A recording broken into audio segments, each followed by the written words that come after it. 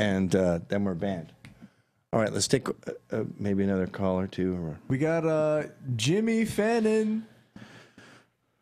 My brother, how are you? Do you find it ironic? I, I know you see the irony in the fact that only you guys could get the word censored, censored. Like, oh my God! And if you put, if you spell dot in brackets, it passes. So that's how I've been getting my post out. But I wanted to ask you guys: Have you been uh, tuned in ever to Canada's greatest gift to the world since Trailer Park Boys? It's called Letterkenny.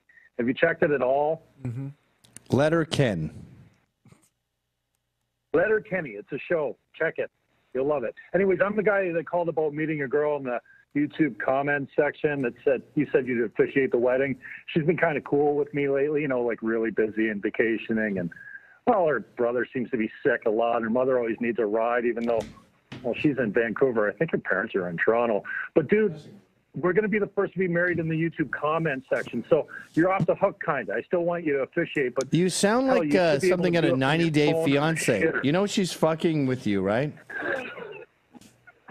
no, dude, this is for real. Are you going to pack edible panties when you go to visit her in, in Mexico?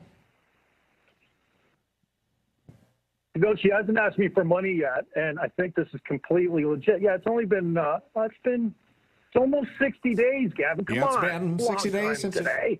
All right, let's see what happens at 90 days. All right, thanks for calling. Great hearing from you. I thought you were messing with him when you didn't know Letterkenny. No, I know Letterkenny. Yeah, Okay. yeah.